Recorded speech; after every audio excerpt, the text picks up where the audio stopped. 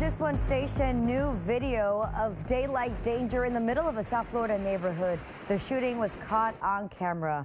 This happening back in February. But authorities believe these gunmen are connected to several other crimes. 17 Elitza Bezios live outside the jail in West Miami-Dade with this exclusive. Elitza. Ethan, there were 199 shots that went off in the end. One person would die in a car at that moment. And later on, police say in another crime that they think is connected, a second person also losing their life.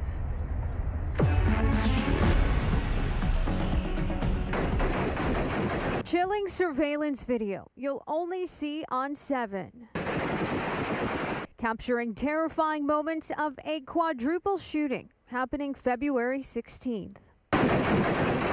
The barrage of bullets killing 26-year-old Trayvon Smith. Smith sitting in a car you don't see in the video with friends. They two were shot but survived. One of the shooters even hit by friendly fire. The shooting happening for 36 seconds with 199 shots fired that afternoon. According to police and investigators, four of the five firing are in jail. One is now dead.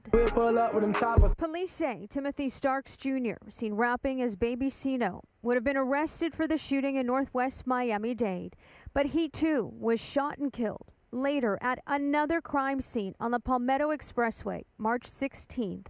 Here, multiple people were hit. Cops think that shooting was payback for the February incident saying in their warrant the homicide of Timothy Starks Jr. is likely to be retaliation. Of the five tied to the shooting scene, three were also seen on surveillance video at a third crime scene. This Brickell hit and run that severely injured two college students late last year. And the three of the four who are in jail right now, we are told, are siblings. For now, we are live at TGK. Elitza Bezios today in Florida.